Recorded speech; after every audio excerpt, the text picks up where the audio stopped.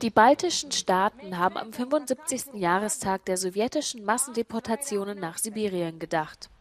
42.000 Menschen wurden an einem einzigen Tag in Viehwaggons deportiert.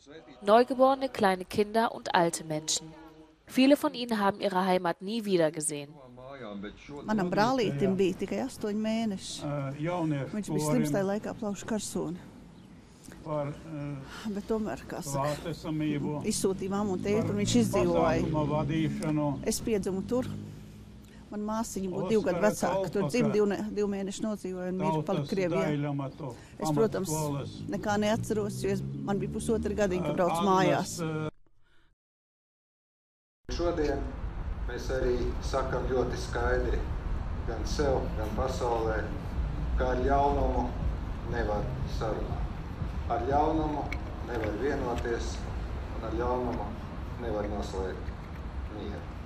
Ļaunumu var tikai uzvarēt, pret ļaunumu ir jācīnās. Auch Estland erinnert an die viertägige Deportationswelle, die aggressivste Maßnahme der Sowjetunion gegen die Esten. 20.700 Menschen wurden verhaftet und in Viehwaggons nach Sibirien deportiert. Fast 80 Prozent davon waren Frauen und Kinder. Hunderte oder sogar tausende Menschen wurden später deportiert. Insgesamt handelte es sich um drei Prozent der estnischen Bevölkerung.